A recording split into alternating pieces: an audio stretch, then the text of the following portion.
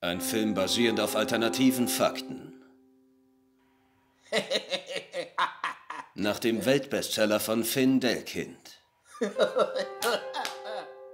Was würdest du tun, wenn es völlig unerwartet dunkel wird? Hallo? Von den Machern von Texas Chainsaw Mascara und von Winden gebläht kommt jetzt ihr nächstes Meisterwerk.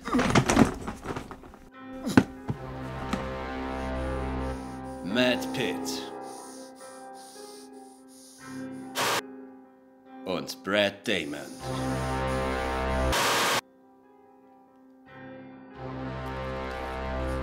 Auf ihrem Weg nach ganz, ganz unten.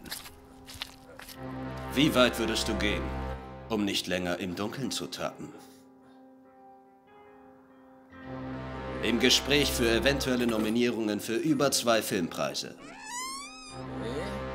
Es wird Zeit für dich, den Schalter umzulegen.